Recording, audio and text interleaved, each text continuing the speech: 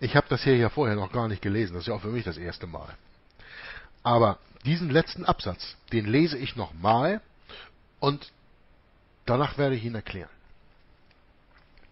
Der Türke, und das ist natürlich in der Zeit von Martin Luther, da nennt er es den, nennt er es den Türken, wir sagen heute der Islam.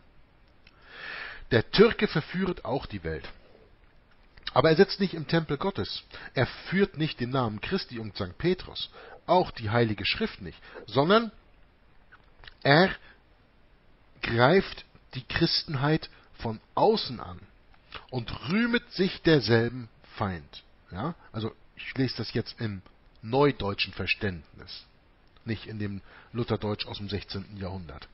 Aber dieser inwendige Zerstörer, ja, dieser Zerstörer von innen, will Freund sein. Hier spricht er vom Papst. Will Vater heißen und ist unzweifelhaft viel schlimmer als der Türke. Das heißt, er ist ein Gräuel der Verwüstung, wie wir in Matthäus 24, Vers 15 oder der Zerstörung lesen können. Ein Abgott, der wider Christum alles zerstört, was Christus gebaut und uns gegeben hat. Oh, wie schrecklich ist solcher Gräuel anzusehen und zu hören. Das sei kürzlich gesagt vom anderen Schaden, durch des Papst Binderei, Selbstmörderei, Abgötterei, Lügen und des Glaubens Zerstörung, christlicher Freiheit Gefängnis und der Gewissen Verderbung erfüllet.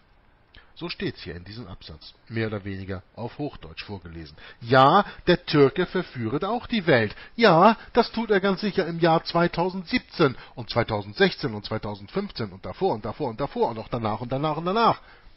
Weil das Papsttum den Islam gegründet hat und den Islam gebraucht, um den Leuten, die sowieso nicht wissen, wer der Antichrist ist, Angst zu machen. Angst vom Islam kann man doch nur haben, wenn man nicht weiß, wer den Islam steuert. Und der Islam ist gesteuert vom Vatikan, von der römisch-katholischen Kirche. Er ist gesteuert vom Papsttum, das vom Teufel gestiftet ist. Ich will hiermit nicht sagen, dass der Islam keine Gefahr ist. Ja, im Grunde will ich das schon sagen. Der Islam ist keine Gefahr. Der Islam ist genauso gefährlich wie diese ganzen Terroristen. Die Terroristen sind aber alle staatsgesteuert. Es gibt keinen Terrorismus außer dem, der vom Staat gesteuert, bezahlt, finanziert, ausgebildet und gesteuert ist von A bis Z. Deswegen sprechen ja so viele Leute von False Flag, von diesen ganzen falschen Anschlägen. Was heißt denn diese falschen Anschläge? Dass andere Leute dahinter stecken, als die, die euch offiziell im Fernsehen erzählt werden, die dahinter stecken. Das ist auch so. Und da gibt es so lange Geschichten, da kann man ja eigene Bücher drüber schreiben. MK Ultra, ähm, Persönlichkeitsverlust äh, oder eben zwei Persönlichkeiten schaffen. Solche ganzen Sachen. Das ist ja alles richtig. Aber wer steckt denn dahinter? Dahinter steckt nicht, jetzt im Fall von ISIS, dahinter steckt nicht der Islam selber, der Islam ist nur Mittel zum Zweck. Und ihr begreift es nicht, weil ihr nicht begreift, dass der Papst der Antichrist ist. Alles Böse auf dieser Welt hat eine Ursache, den Teufel. Und der Stellvertreter des Teufels auf Erden ist der Papst.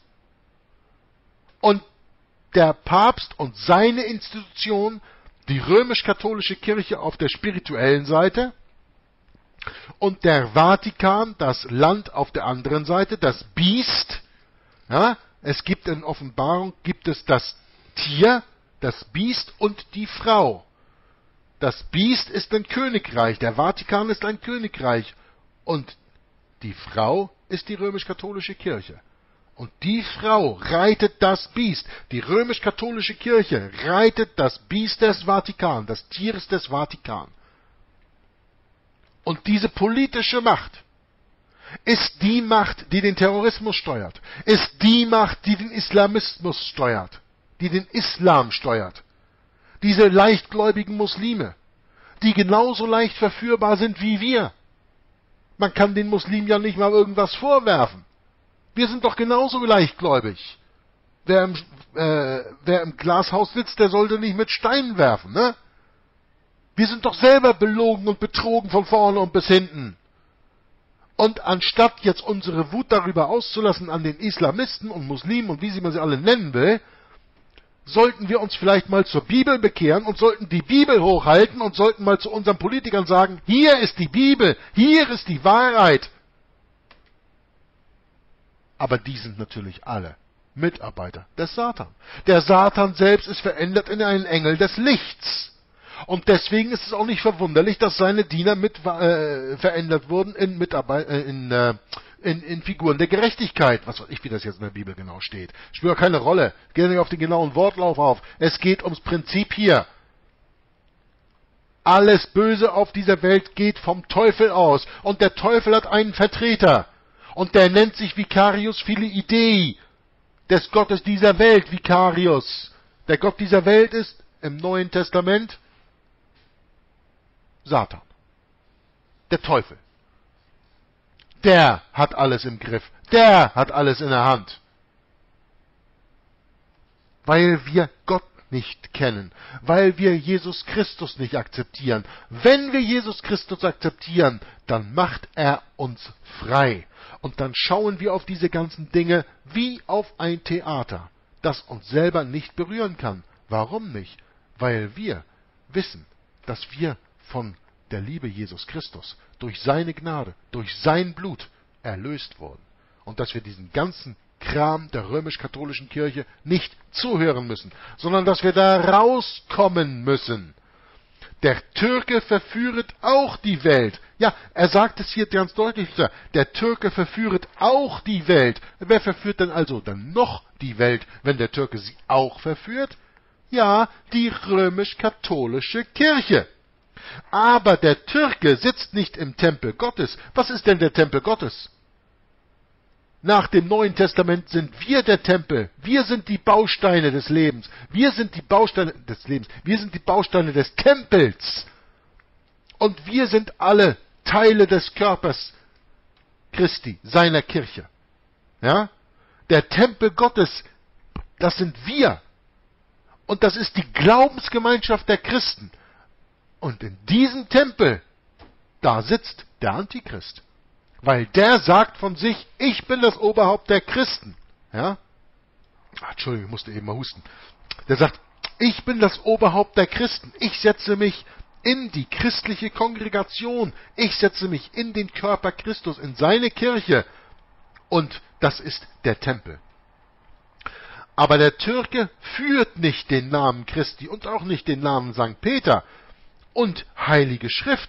Nein, der Türke, der stürmt ganz offensichtlich die Christenheit und rühmet sich sogar, der Feind der Christenheit zu sein. Wir müssen keine Angst haben vor demjenigen, der ganz deutlich sagt, ich bin ein Feind des Christentums. Wir müssen Angst haben vor demjenigen, der sagt, ich bin ein Freund des Christentums, es aber inwendig nicht ist.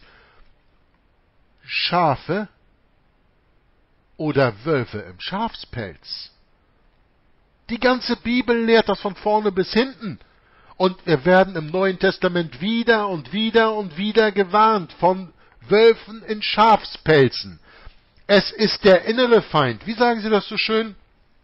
Der amerikanische Präsident, wenn der seinen Eid ablegt, dann sagt er, dass er das Land beschützen wird von Feinden, die von innen oder von außen kommen. Ja? Natürlich, wir wissen, geistige Vorbehalte, der kann schwören, was er will. Aber warum denkt ihr dann, ist das in diesem Text mit drin? Dass die Politiker sozusagen schwören, das Land, dem sie dienen, zu schützen, für alle Feinde, die von außen kommen und auch die Feinde, die von innen kommen. Nun, die Feinde von innen sind sie selber. Sind sie selber. Und Martin Luther hat das ja hier vorher, ein Stückchen vorher angehört. Wenn man selber, wenn man selber hier zu binden Macht hat, wird man ohne Zweifel nicht sich selbst, sondern andere binden. Das ist doch genau derselbe Punkt, den wir hier wieder, dem wir hier wieder begegnen. Ja? Wir müssen keine Angst vor dem Türken haben, keine Angst vor dem Islam haben. Wir müssen Angst haben vor demjenigen, der den Islam zu dem gemacht hat, was er ist. Die Leute im Islam sind alles betrogene Seelen. Genauso betrogen wie diejenigen, die mit heiligem katholischen Glauben sonntags die Kirchen stürmen, vor Maria niederfallen und andere Götter anbeten. Genauso betrogen. denen müssen wir alle helfen, denen müssen wir unsere Liebe zeigen und denen müssen wir an erster Stelle die Wahrheit zeigen. Weil wenn ich meinem Bruder oder meiner Schwester die Wahrheit sage oder zeige, das ist ein großes Zeichen der Liebe.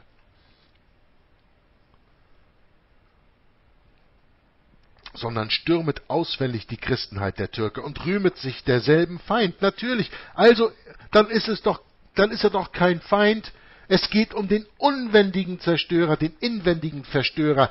Der will Freund sein, der will Vater heißen. Und er ist zweifelhaftig ärger dann der Türk, sagt Luther hier. Der ist viel schlimmer als der Türke. Schlimmer als der Feind, der vor den Toren der Stadt steht, ist der Feind, der in der Stadt ist und die Stadt von innen anzündet.